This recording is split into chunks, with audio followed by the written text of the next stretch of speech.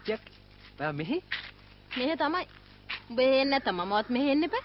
කොච්චර හොඳ ආපු එක යන් ගෙට බෑ. මම හදිසි ගමනක් යන ගමන් ආවේ උඹව හම්බෙලා යන්න කියලා. මාව හම්බෙන්න ඔව්. ඇයි මගේ ලෝන් එකක්වත් ගන්නද අපෝ අතේ පිච්චියක් නැ.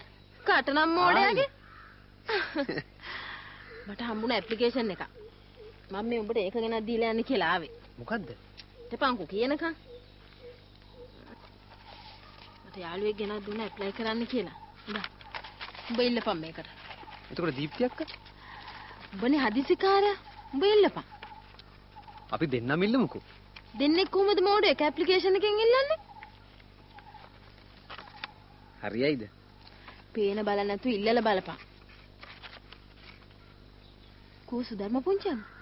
මොන්ටිසෝරි යමු ගෙට බෑ සම්පත්. මට පරක්කු වෙනවා.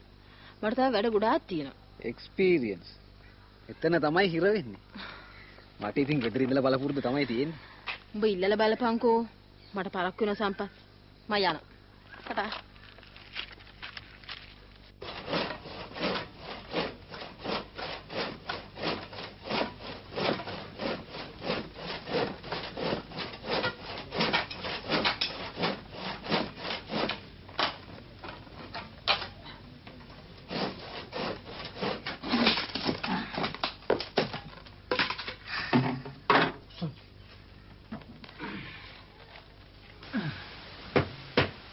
පොඩ්ඩක් අත්තු කරා නම්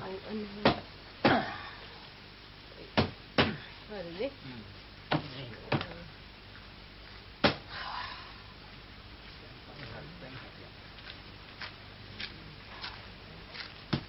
මොකද ඇසලිනා හාමිනේ යටලිය පාස් වෙලාද? වහලේ හැම් පිටින්ම ගලවන්න සිද්ධ වෙලයි තියෙන්නේ. දැන් ඉතින් මේවා පරණයිනේ. පරණ ගෙයක් ගොඩ ගන්න එක අලුත් ගෙයක් හදනවට වඩා අමාරුයි සිමියුම් මහත්තයෝ. හ්ම් හ්ම්. චලුහාමි වාඩි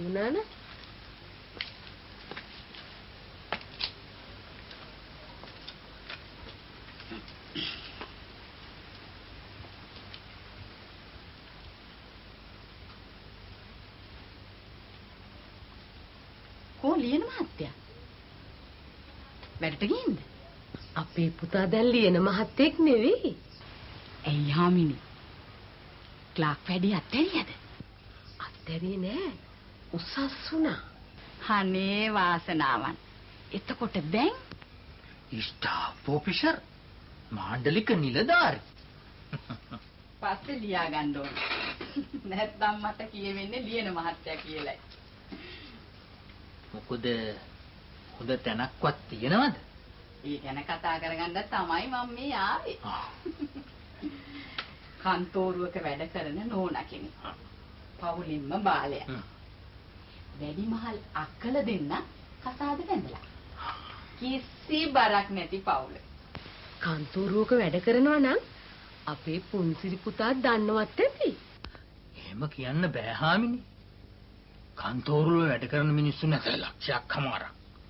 උන්සිරි මහත්තයාට දැන් 45 කොහෙදී තේ විභාග ඉවර වෙනකන් කිසිම දෙයක් ගැන කතා කරන්න එපා කිව්වනේ.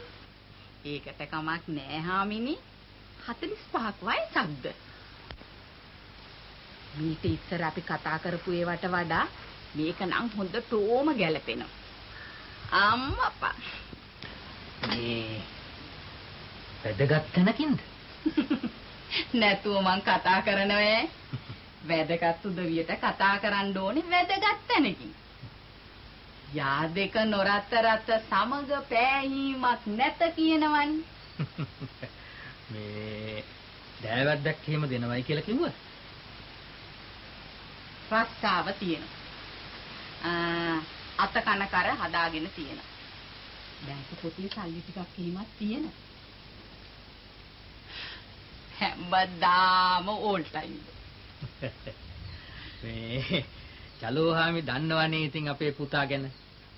මේ ක්ලාක් වැඩේ කරන ගමන්ම පාඩම් කෙරුවා. උපාධියත් පාස්. දැන් මිනිහා ස්ටාෆ් ඔෆිසර්.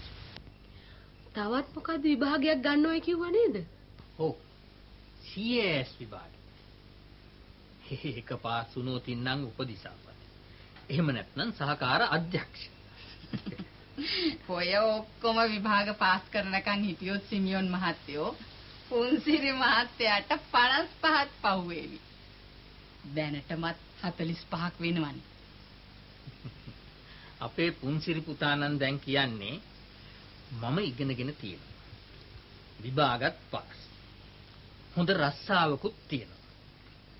කරදරයක් නැතුව ජීවත් වෙන්න නම් ඉතින් ගයක් තුරක් තියෙන තැනකින් හොඳ කටයුත්තක් කරගන්න ඕනේ කියලා. පුළුවන්ද?